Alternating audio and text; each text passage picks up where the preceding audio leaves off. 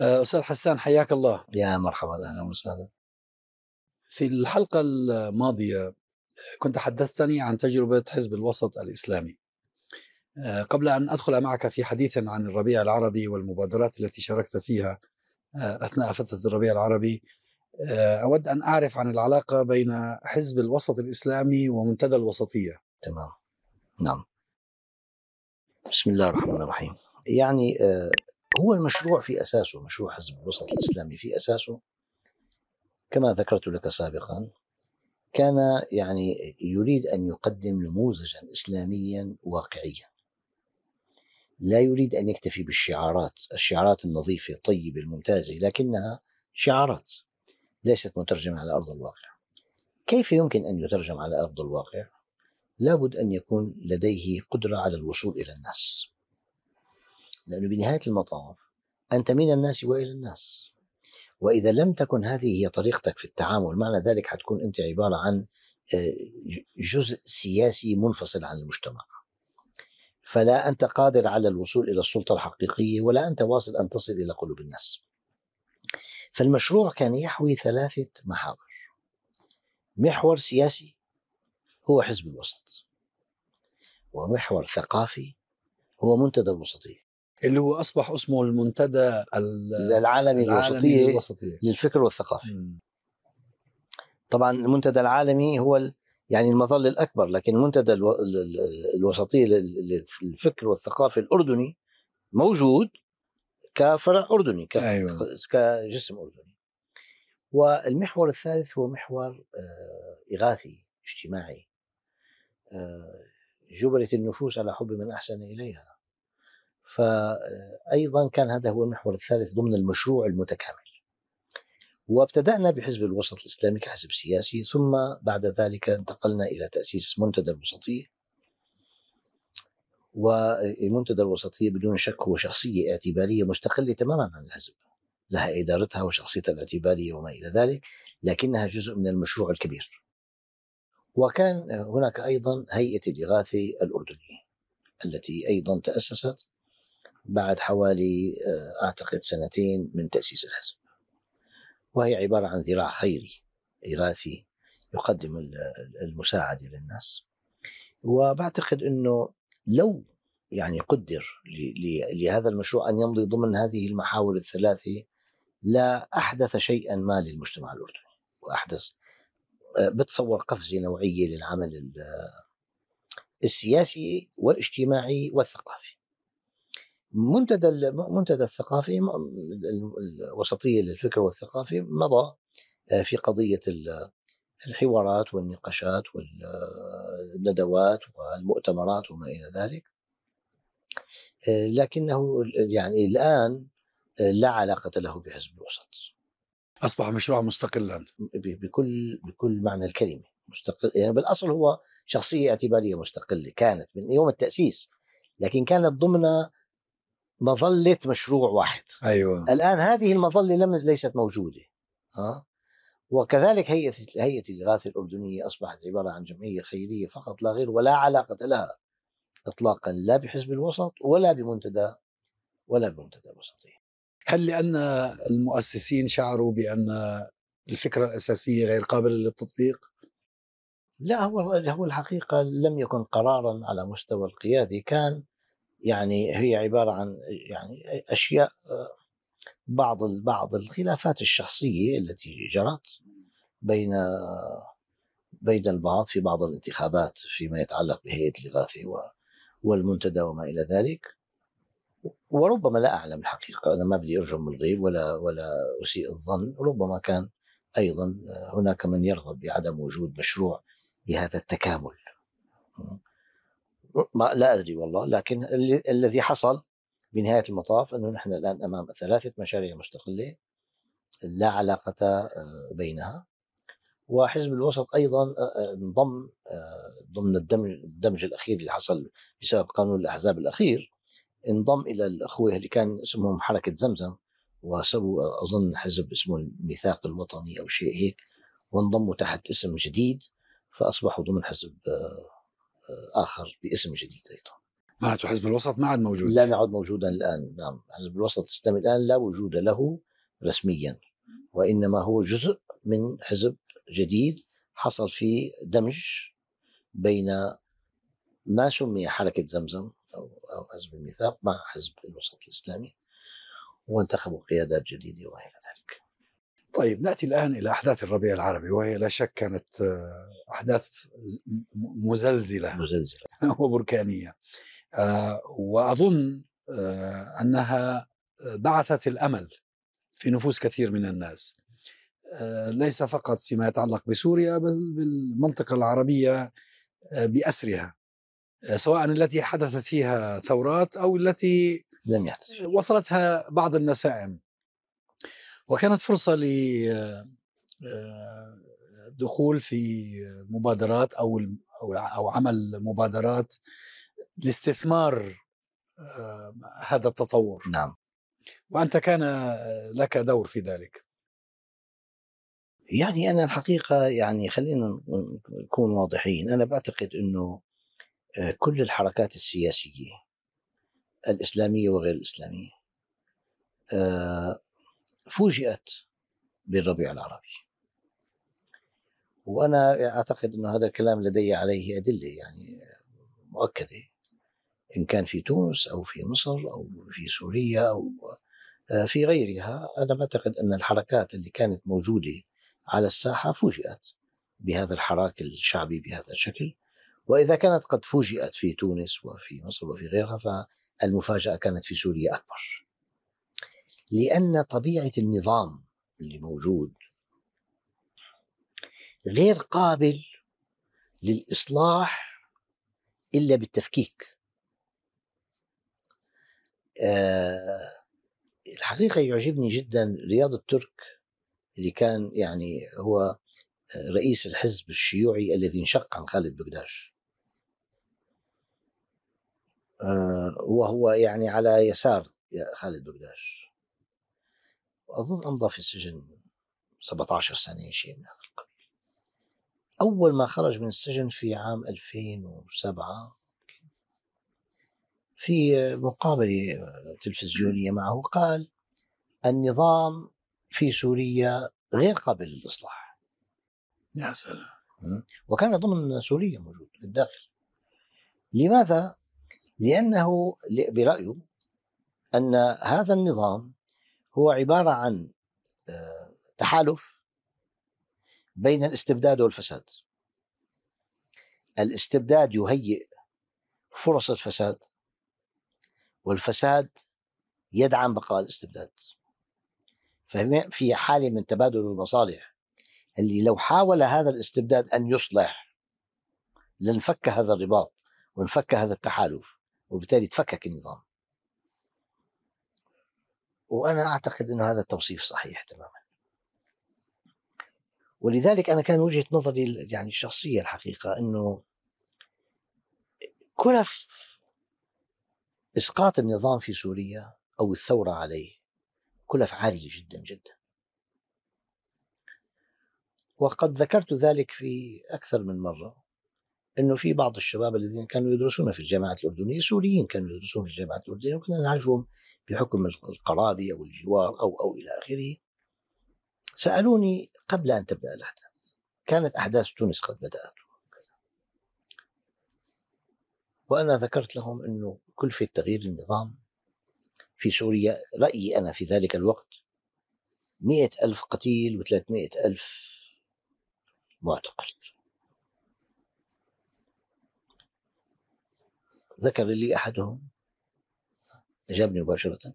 كلفة بقاء النظام أقسى من ذلك. فكان رأي جوابي مباشرة يا أخوان أنتم تتحدثون بمنطق ثوري راديكالي بحت أنا لست ذاك الرجل. أنا رجل عشت حياتي بعملية الإصلاح. والإصلاح غير الثورة. الآن في سوريا كان بالنسبة إلى كبار سياسيي سوريا المعارضين. كانت الحالة السورية حالة ميؤوس منها. قبل الربيع العربي. صحيح أنا أذكر ذلك. تمام؟ وكان لديهم تصريحات بذلك. الآن عندما ابتدأت الأحداث كانت مثل كرة الثلج. لأنه هو آه، قبل أن تبدأ الأحداث كان النظام يبدو مستقرا. وله دعم إقليمي ودولي كامل. كامل. نعم. وأصبح جزءا مما يسمى محور الممانعة. فحتى شعبيا آه، كان لديه نوع من القبول ضمن هذا المحور. ما بحكي عن السوريين بحكي أنا في في في مجمل بالإقليم في الإقليم ككل. إذا إذا اعتبرنا أن المحور المقابل هو محور آه، الأمريكي. يعني يعني الكلام اللي تفضل فيه صحيح له شيء من القبول على مستوى القوى السياسية المعارضة في الإقليم. أي نعم صحيح. آه، باعتبار يعني الحديث عن الممانعة والمقاومة وما إلى ذلك، أما على مستوى الشعب في سوريا، الشعب كان يعاني الأمرين الحقيقة. حالة الفساد اللي كانت تنخر البلاد، حالة عدم تكافؤ الفرص، انسداد الأفق آه، بالنسبة للشباب كان شبه كامل الحقيقة. شيء بالشيء يذكر. ذكر لي الأستاذ رياض حجاب اللي كان رئيس الوزراء آه، في سوريا وانشق عن النظام أنه عندما بدأت المظاهرات ف آه، استدعى الرئيس ماذا يوجد عندك؟ قال له يا سيدي أنا أعتقد الموضوع بسيط. نستحدث 25 ألف وظيفة. نسحب فتيل الاحتقان. الشباب الأفق أمامهم مسدود. فنسحب فتيل الاحتقان. قال له نحن كيف بنأمن رواتبهم؟ قال له الأمر بسيط. بنرفع المازوت السولر كذا وبنرفع البنزين كذا. بنسبة تكاد تكون لا تؤثر. هذا هذا المبلغ بالضبط يؤمن رواتب ال 25 ألف موظف فطلب منه أن يعيد مذكرة بذلك. أعد مذكرة. طلع المرسوم الجمهوري برفع أسعار المازوت والبنزين وعدم تعيين ال 25 ألف. هذا زي اللي بيقول فويل للمصلين. هذا هذا هذه رواية أنقلها عن عن الدكتور رياض حجاب وهو حي يرزق الموجود يعني لم يكن هناك رغبة في الإصلاح ولم يكن هناك قناعة أنا أعتقد أن النظام يعيش في فقاعة كان ولا يزال. يعني فقاعة خارج الإطار. ولكن الدعم يعني الإقليمي من جهة محددة. بلاش نذكر اسمها الآن؟ إيه معروف يعني. نعم. يعني هو مدعوم من إيران وروسيا. لا أنا أعتقد أن القرار بإبقائه كان إسرائيليا قبل قبل روسيا. روسيا دخلت على الخط. العلاقة بين بوتين وبشار الأسد بقيت إلى فترة طويلة علاقة بروتوكولية وبوتين لم يزر سوريا إطلاقا قبل الربيع العربي. وهذا مؤشر بدك بدك تنظر له. أه حتى الدكتور رياض حجار أنقل عنه مرة أخرى أنه قد سمع من فم الرئيس السوري له مباشرة أنه متفاجئ ولم يكن يتوقع أبدا الموقف الروسي الداعم. تمام؟ في معادلة في معادلة دولية إقليمية. والدليل عليها طيب الآن الطيران في سماء سوريا من ثمان سنوات. الطيران الروسي والسوري طيران التحالف والإسرائيلي بتطير فوق سماء سوريا. هل سمعت بخطأ حصل بأن هناك احتكاك بين طائرتين بين هذه القوى جميعا؟ هناك غرفة عمليات تراقب هذا الموضوع. إذا القضية أكبر من مجرد أنه والله دعم أن روسيا دعمته. لا لا يعني هي روسيا دعمت ضمن إطار آه، توافق معين. ذكرته آه، هيلاري كلينتون بكل وضوح عند الأحداث في ليبيا وبداية الأحداث في سوريا قالت سوريا ليست ليبيا. طبعا هو بالنسبة لإسرائيل آه كلامك صحيح. الأمريكان والإسرائيليون آه، كانوا يرون أي بديل لبشار سيكون بالنسبة لهم أسوأ. آه، ومن هنا حتى جاء الضغط على الموقف الأوروبي لأن الموقف الأوروبي في بدايات الربيع العربي نعم. كان متعاطفا. جدا نعم. الأمريكان والإسرائيليون كانوا يرون أن تغيير الوضع الراهن في المنطقة ليس لصالحهم. في نعم في سوريا على وجه التخصيص سوريا نعم. لأنه لأنه هناك هناك راحة من قبل الإسرائيليين لمدة طويلة جدا وقد تحدث فيها رامي مخلوف بكل صراحة عند بداية الأحداث. إذا كان تذكر للأسف أنه أخرج عدد من الشبان الفلسطينيين الأطهار وخلاهم إنه يجتازوا المنطقة المحرمة من حدود الجولان. تذكر؟ واصطادتهم رصاصات الاحتلال الإسرائيلي وقتلت منهم وجرحت منهم وعقب مباشرة رأي مخلوف. أنها من إسرائيل من أمن النظام. نعم صحيح. هو نوع من الابتزاز آه فال فال يعني هذه هي القضية الحقيقة. على كل الأحوال اللي حصل أنا بتقديري اللي حصل في كل العالم العربي هي عبارة عن انفجارات مجتمعية أكثر منها ثورات منظمة تمام؟ يعني أنت الآن وصلت المجتمعات إلى حالة من الاحتقان والاختناق لم ت... لم يعد الشباب قادرين على تحمل هذا الذي يجري. لم يكن هناك قوى مؤطرة أطلت هذا الحراك في أي بلد عربي على الإطلاق فخرج بهذا الشكل وعادة مثل هذه الانفجارات المجتمعية يعني آه، لا يعلم الا الله إلى أي مدى يمكن أن تصل وكيف تصل وأنا أشبهها بكرة الثلج التي تبدأ كرة بحجم اليد ثم يمكن أن تصل إلى صخرة ضخمة جدا تدمر قرية أو ربما بعصا صغيرة تحرفها عن مسارها.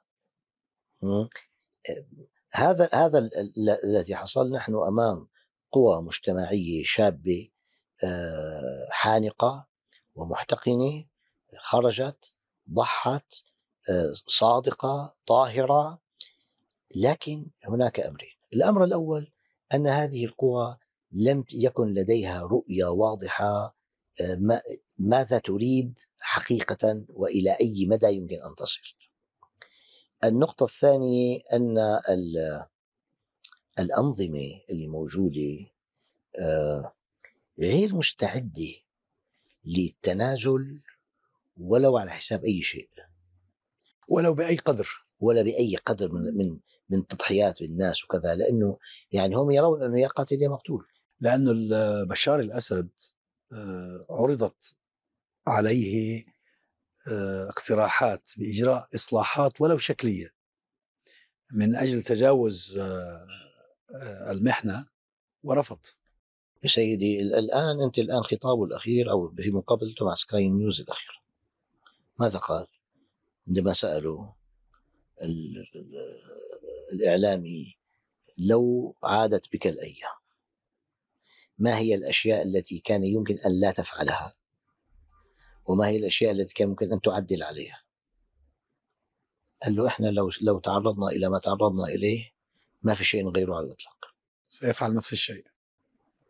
أي نوع من العقلية هذه؟ ها؟ تصور أنت أنه إنسان فرد مش رئيس دولة ولا نظام ولا كذا يقول إنه أنا تجربتي مئة بالمئة صح. يعني ماذا يقال عنه؟ هذا ضمن العقلاء يعني. هو يشعر بالغرور كونه انتصر على الشعب. هو يعيش في فقاعة هو يعيش في فقاعة الحقيقة. وبعتقد أنا أنه الثورة الآن إذا إذا تحدثنا عن سوريا على وجه التخصيص أنا أعتقد أن الشعب السوري قدم شيء الحقيقة غير مسبوق وغير متوقع وأكبر بكثير من مما كان يعني متوقع أن يخرج تضحيات بشكل جسيمي جدا. لكنه الآن هو شعب منكوب بكل معنى الكلمة وتخلى عنه من كان يقول أنه صديق قبل من كان يقول أنه عدو أه؟ آه الحسابات غير صحيحة لكن هل أن هذا الشعب سيستكين أنا بعتقد أنه إن يعني لم يعد هناك إمكانية لأن تعود سوريا كما كانت. الناس اللي هم عاشوا الآن 12 سنة وهم مهجرين من بيوتهم. هؤلاء الناس كيف يمكن أن تعيدهم إلى القمقم اللي كان موجود؟ ما, ما ممكن. لأنه هذا الشاب اللي, كان عمره 10 سنوات عمره الآن 22 واللي ولد بتلك الظروف الآن عمره 12 سنة. طيب هذا عاش في أجواء أخرى تماما مختلفة عن كل الشيء الذي يستطيع النظام التعامل معه. بالتالي أنا أعتقد لا يمكن آه، يعني الحل الحل لا يزال بعيد المنال. آه، وبعتقد أنه من من يحاول أن يعيد تعويم النظام هو يعني آه، كمن يحاول أن يحرث في البحر. لا النظام قادر ولا الشعب حيقبل. ولا حجم التناقضات بين القوى اللاعبة في الإقليم آه، وصلت إلى مرحلة من التفاهم المعقول فيما بينها. وهذا هو ثالث واحد مش أول واحد. لا السوريين قابلين ولا النظام قادر هذا هو النقطة الأكثر أهمية. آه، ولذلك أنا أعتقد أن لا يزال الملف مفتوح. مشكلة المشكلة الكبيرة المؤلمة أنه ملف نازف على المستوى الإنساني بشكل كبير. والدول غير غير مدركة أنه هناك جيل حيخرج ليس لديه ما يخسر ويخاف عليه وهذا خطير. خطير جدا. آه لك حادثة بالنسبة لي معبرة كانت. بعام الثمانين كنت عائد من سفر من حلب إلى دمشق. وقفت في حماة. ودخلت إلى يعني دكان. ونحن جوا الدكان أطلاق رصاص كثيف كذا. بعدين في اثنين سقطوا. سقطوا وصار في بركة دم. شيء الحقيقة يعني رهيب جدا. يعني أنا بالنسبة لي شيء يعني مش مألوف يعني شيء فظيع. ثم جاء اكتشفنا بعدين إنه في فرع امن جنب الدكان اللي كنا إحنا واقفين فيها اجوا أخذوا اثنين الحراس اللي انصابوا يبدو في واحد على بسكليت أو على دراجة نارية أطلق النار عليهم. أطلق عليهم النار. بعد دقائق في أطفال صغار عمرهم بالعشر سنوات ثمان سنوات أطفال صغار جاءوا وخاضوا في بركة الدم. والله يا دكتور. وجلسوا عم يختاروا. أنا يعني طلع عن شو بيسووا عم يبحثوا عن الفوارغ فشك. الفشك الفارغ. ويمسكها هيك وينقط منها الدم ويحطها بجيبه. أنا قلت هذا الجيل سيخرج منه شيء آخر غير المألوف. بعام 2012 التقيت بشاب في تركيا. آه من حما شو بتسوي؟ قال أنا والله جاي زيارة كذا أنت شو بتسوي؟ قال أنا والله بقاتل طيب أنت ليه بتقاتل؟ قال لي أنا جدي قتلوه بأحداث حما في الثمانينات لم ينسى ثأره في اللي أنا بدي أقوله هذا الملف للأسف لا يعالج بالطريقة الصحيحة وأعتقد أن المسؤولين في الدول التي تسعى إلى إعادة تعويم نظام الأسد لا تقرأ لا التاريخ ولا الجغرافيا ولا علم الاجتماع بشكل صحيح وبالتالي هي تريد أن تنهي هذا الملف دون أن تحدث فيه التعقيم المطلوب والتطهير المطلوب. هو برضه مرتبط ب نرجع لموضوع ميزان القوى ميزان القوة آه، غير مؤهل بعد لإحداث التغيير المطلوب. صحيح. آه، لذلك نحن الآن بأثر رجعي نرى ما حدث في 2011 على أنه جولة. نعم. لابد أنه سيأتي بعده جولات. 100% نجاح أي جولة آه، في إحداث تغيير آه، كبير أو مهم مرتبط أو له علاقة مباشرة بتغير ميزان القوة. نعم. لصالح التغيير. نعم أنا 100% أقول لك ذلك. آه، لكن أعتقد إنه يعني التغيير يعني بمعنى النجاح في التغيير يحتاج إلى اللي تفضلت فيه. لكن أنا أعتقد أن هذه هذه الحركات الثورية هي صيرورة تاريخية طبيعية. لأنه آه، الناس ازداد وعيها. وسائل التواصل الاجتماعي صارت الآن توصل المعلومة في آخر قرية في الصين بالصوت والصورة مباشرة. فالناس مطلعة على ما يجري. آه، حجم حجم النكبة على ملايين السوريين. ملايين. الآن ما عم نتحدث عن عن أحداث حماة. 10000 ولا 40000 ولا كل القطر منكوب. أنت الآن عندك ملايين منكوبين. وحتى الناس اللي موجودين داخل مناطق النظام يمكن هم أشد نكبة لأنه الفقر اللي عم يعانوه يعني شيء لا يصدق عقل.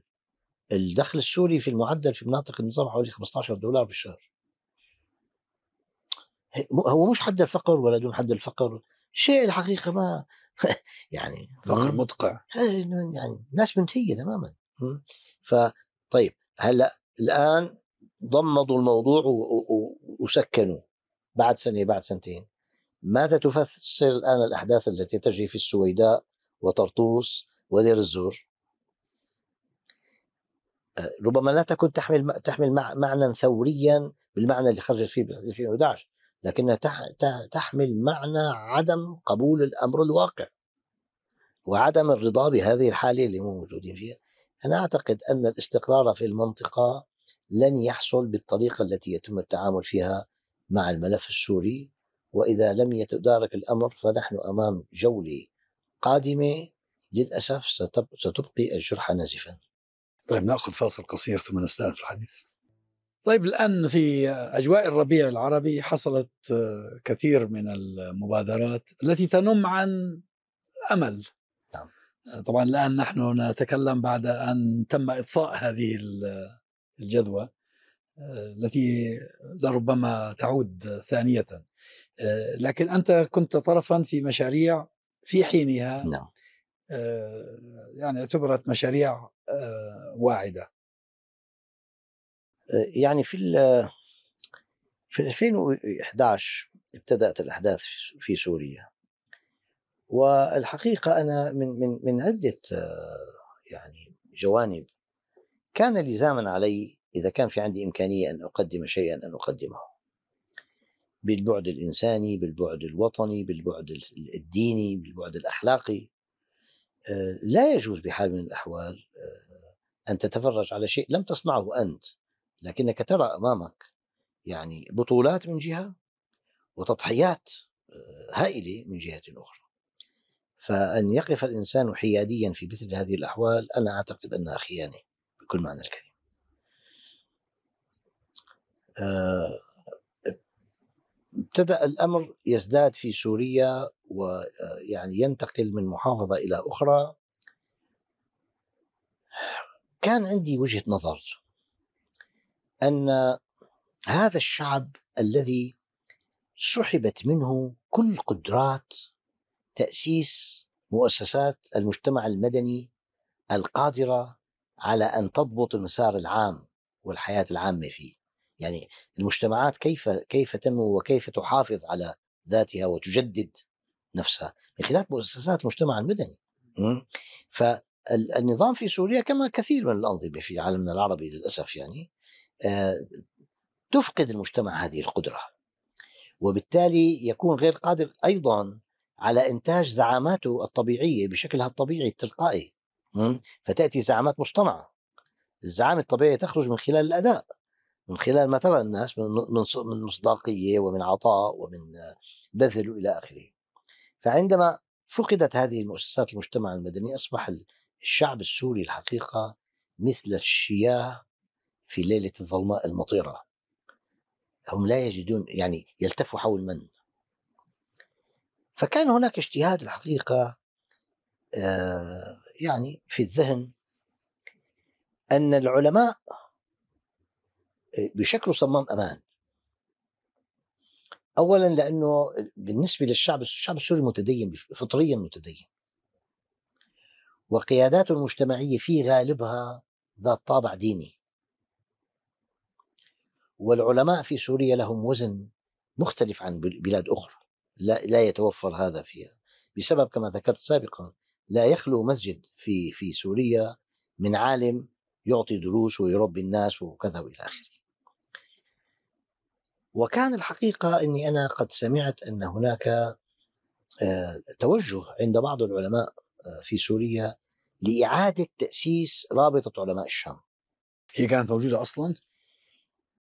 بالثلاثينيات من القرن العشرين كان هناك مجموعة روابط شرعية كانت تحمل اسم جمعيات العلماء وأول جمعية تأسست كانت عام 1937 أسسها الشيخ كامل القصاب وبقي رئيسا لها لفترة طويلة رحمه الله.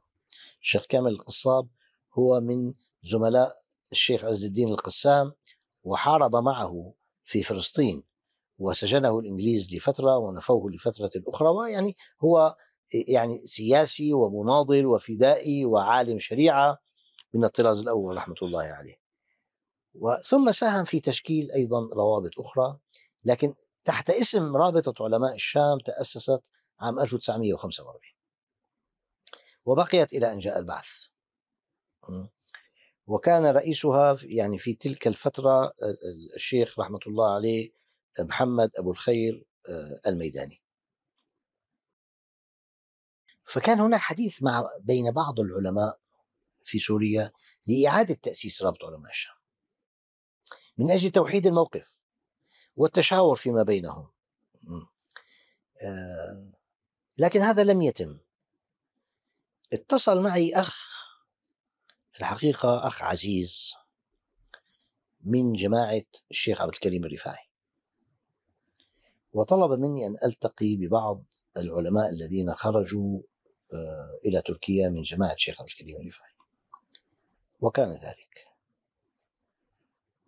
وكان في هذا في ذلك الاجتماع حضر الشيخ أسامة الرفاعي الشيخ سارية الرفاعي الشيخ عبد الفتاح السيد الشيخ جمال السيروان والعبد الفقير. وكان في دردشة يعني شو ممكن شو عمل كان فاقترحت إعادة تأسيس رابطة علماء الشام. لكن على أن تحوي ألوان الطيف الإسلامي ما أمكن. ألوان الطيف الإسلامي المعتدل الوسطي الشرعي اللي له تأثير على الناس له كلمة عند الناس. فقالوا من تقترح فأنا قلت يعني الموجودين. آه، ونضيف بعض الشخصيات اقترحت بعض الشخصيات. منهم الشيخ محمد لطفي الصباغ رحمه الله. الشيخ عدنان السقا الشيخ ممدوح جنيد آه، عن حمص الشيخ عبد الله السلقيني عن حلب والشيخ محمد سرور زين العابدين آه، عن منطقة حوران. ففوجئت. قالوا لي أنت بتعرفه يعني فوجئت أنا أنهم لا يعرفونه. الشيخ محمد سرور. عجيب. فقلت يا الله أنا أعرفه. نعم. بالرغم من تأثيره الواسع نعم. لكن هم يعني سألوا السؤال لأنه يعلمون تأثيره الواسع. آه يسمعون به ولكن لا يعرفونه. لا يعرفونه. مش ما بيعرفوا مش سامعين فيه. لا هم سامعين فيه جدا. آه. قلت لهم والله أنا معرفتي فيه ليست ليست قديمة. أنا عرفته قبل الثورة بفترة ما هي طويلة. وللمفارقة الحقيقة هذه شيء بشيء يذكر. أنا تعرفت عليه قبل ثورة آه، سوريا يمكن بسنة. طبعا آه، يعني الرجل حاد الذكاء سريع البديهة سياسي من الطراز الأول على خلق عالي جدا. آه، ف يعني جلسنا تعرف يعني. في اليوم التالي اتصل معي. قال عندك شيء؟ قلت له والله أمور قال ممكن نلتقي التقينا. قال لي أنا بدي أسألك سؤال. قلت له تفضل. قال لي هل معقول إنه إحنا نقوم بأعمال ونشاطات وننسى بلدنا؟ قلت له تعني سوريا. قال لي طبعا. قلت له عندك شيء تجاه سوريا؟ أنا في ذهني في ذلك الوقت حالي ميؤوس منها. قال لي ما عندي شيء لكن إذا ما عندنا شيء لازم نسويه. شيخ يا أبو عصام. أنا معرفتنا ببعض قصيرة.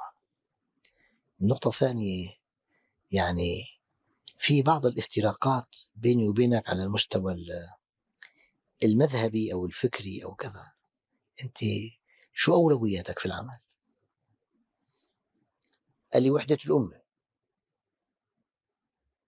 قلت له نحن على طريق واحد. في اللقاء اللي حصل في إسطنبول نصحتهم أن يلتقوا بي.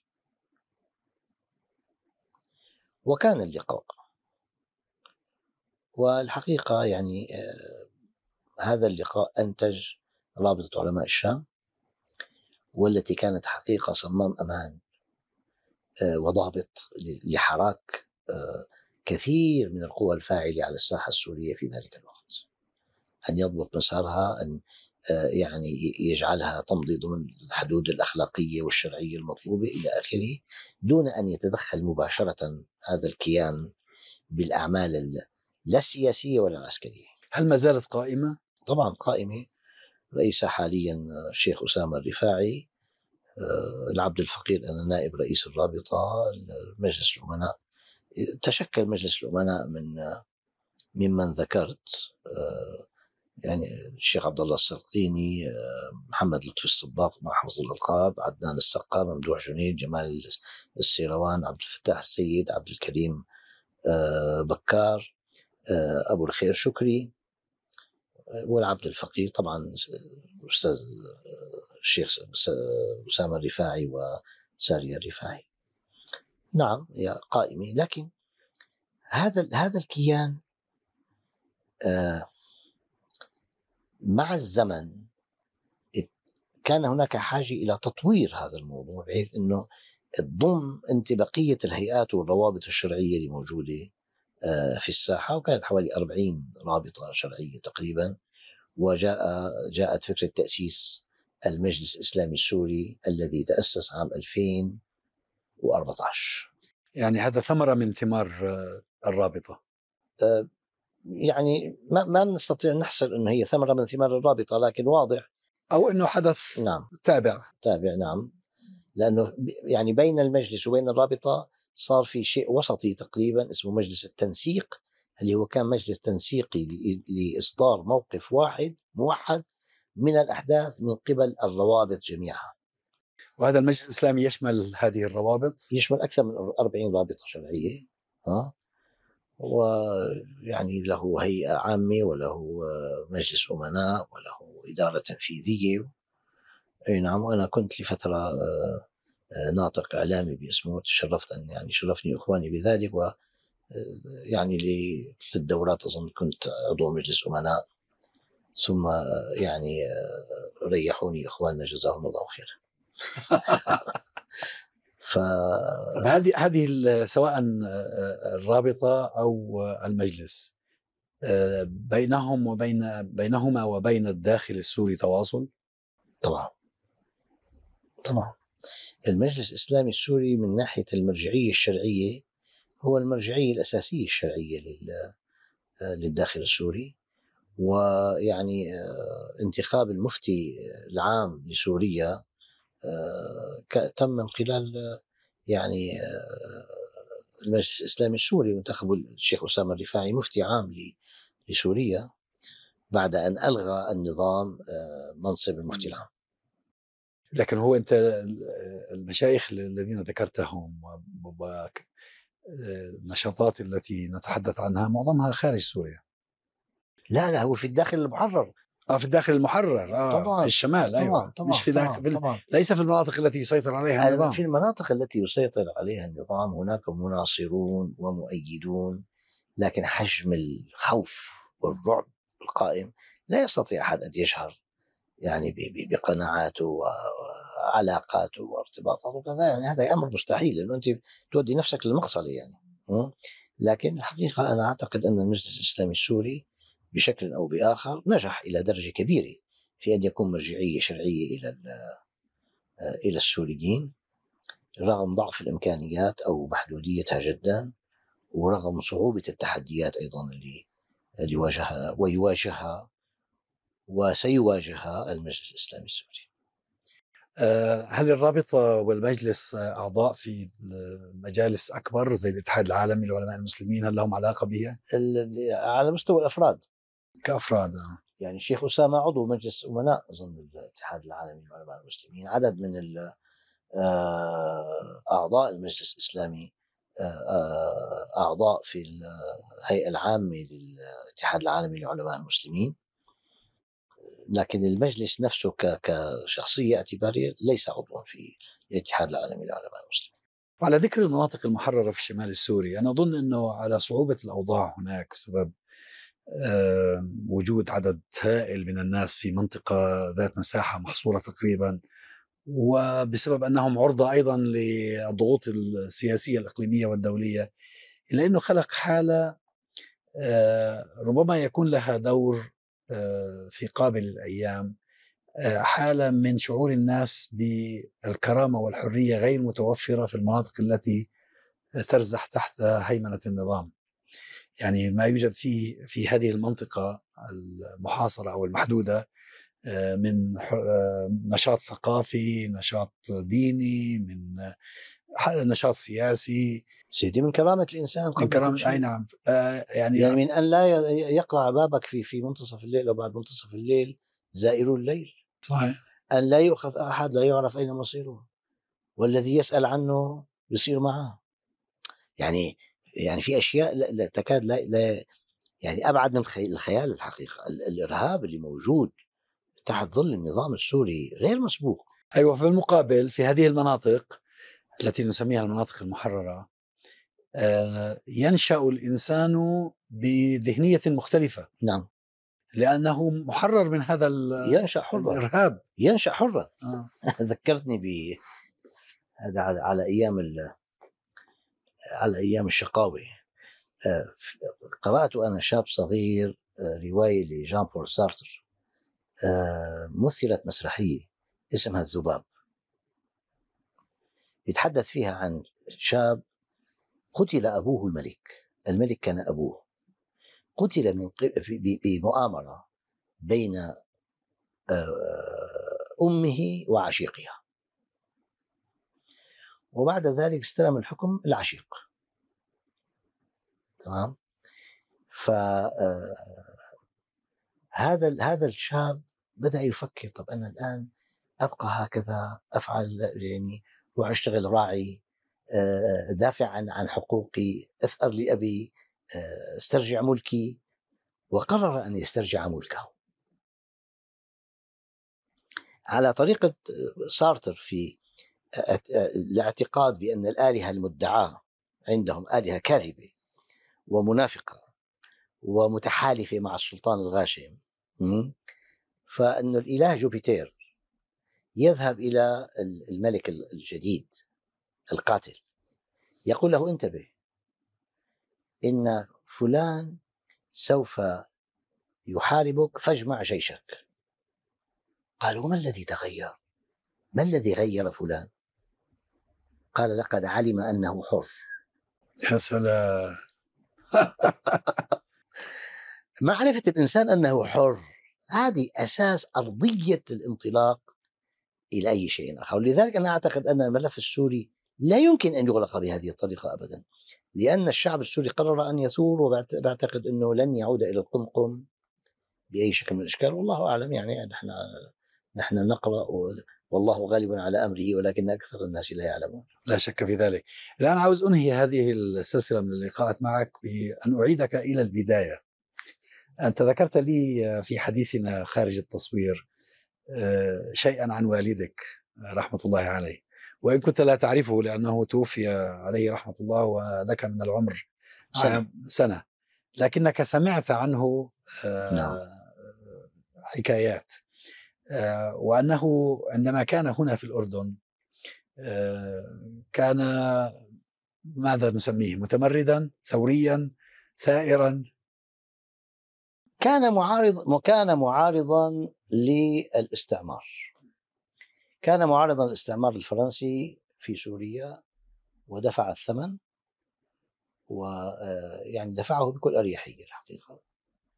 ترك أهله وبيته وكل شيء واضطر إلى اله- الهجرة إلى هنا. وجاء إلى هنا. طبعا هنا يعني كان آه، يعني نعم نعم نعم البلد بالنسبة له. لكنه أيضا كان يرى أن تسلط الإنجليز على مقدرات البلاد آه، يعني كان كبيرا. فكان معارضا لأي آه، نفوذ أجنبي على هذه البلاد.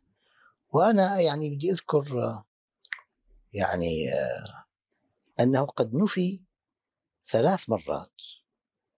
في وقت كان النفي في داخل الأردن شيء يعني مش مش بسيط أبدا يعني. نفي مرة إلى الطفيلة ومرة إلى معان ومرة إلى العقبة.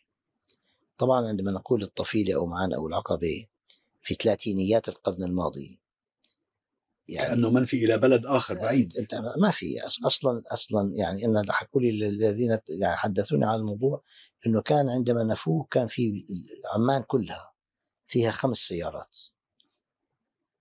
خرجت معه حتى وصل إلى الطفيله أربع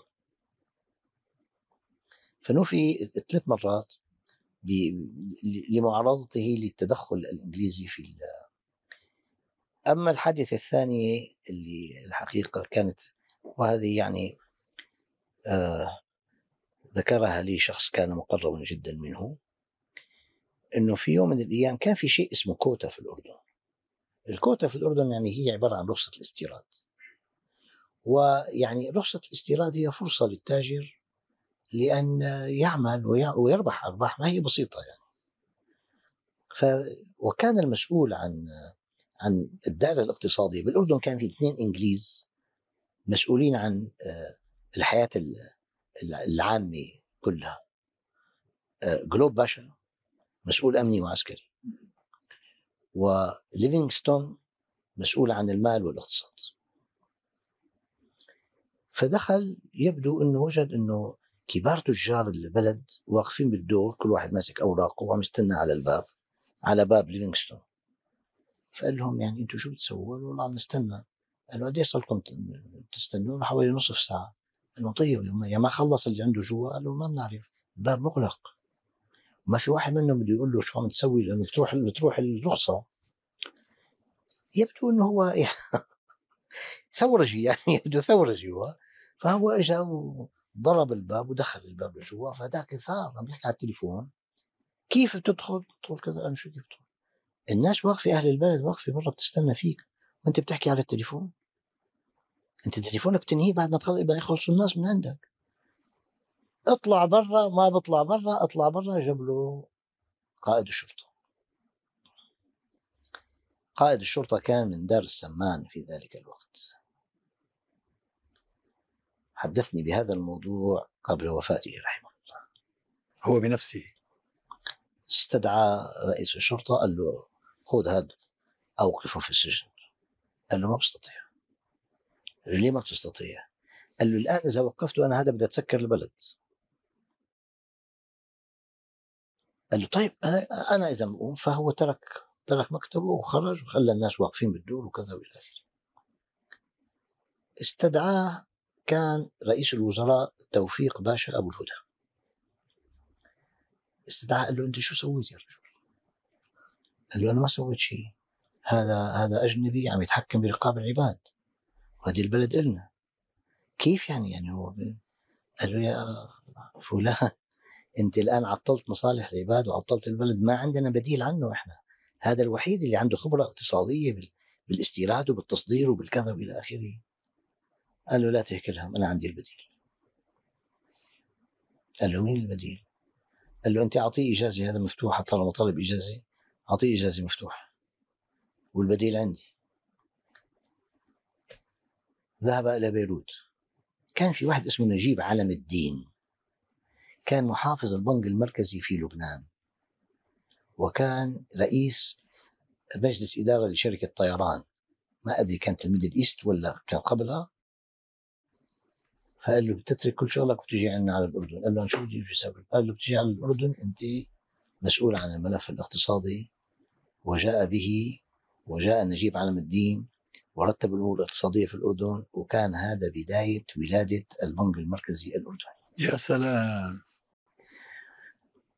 آه، يعني هذه القصة على دلالاتها هو بداية التحرر الاقتصادي. نعم. تمام؟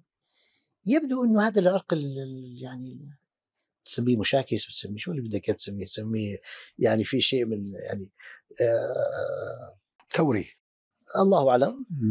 يبدو إنه هذا موجود آه، جينيا. لا أدري والله انتقل إليك. بس أنا لا أنا صرت أنا غلبان يا دكتور. أنا نعم الآن آه، تذكر قص- القصص التي نقلت إليك عن والدك أكيد تنقلها إلى أبنائك وأحفادك. آه بدون شك طبعا طبعا أت- أنا أفتخر الحقيقة به وب بأنه كان نظيف اليد. وقد حدثني يعني اللي كان رئيس ديوان ملكي أيام الملك عبد الله رحمه الله رحم الله الرجلين آه، آه، السيد عبد الرحمن خليفة العواملة وهو ليس محمد عبد الرحمن خليفة المراقب العام للإخوان المسلمين. اثنين هم سلطيين بس هذا محمد عبد الرحمن خليفة اللي هو المراقب العام للإخوان المسلمين وعبد الرحمن خليفة كان رئيس ديوان ملكي. ذكر لي بأنه الحقيقة أنه عندما كانوا يعني تتعرض البلد إلى شيء من أزمة أو كذا كانوا يعني يطلبونه أن يزور القصر ولكنهم كانوا يحترمون رأيه لأنه لم يطلب يوما شيئا لشخصه. نزيه على الإطلاق. يعني نسأل الله الرحمة لموتانا جميعا وأن آمين، أن. يختم لنا بخاتمة الحسنى جميعا وبهذه القصة الجميلة نختم هذه السلسلة من جزاك الله خير. شكرا لك يا الحوارات. شكرا جزيلا. والحقيقة يعني قناتكم قناة يعني رائدة والبرنامج حقيقة برنامج مشاهد ويقدم يعني داتا الحقيقة غنية جدا لكل الباحثين عن الحقيقة. آه، يعني في في بلادنا التي نسأل الله لها الاستقرار والأمن والنماء. يعني وأن يكون الجيل القادم يحيا أفضل مما كنا نحن. آمين. كلنا ندعو بذلك. شكرا. جزيلا لك. شكرا يا سيدي. أحسن الله إليكم. شكرا شكرا.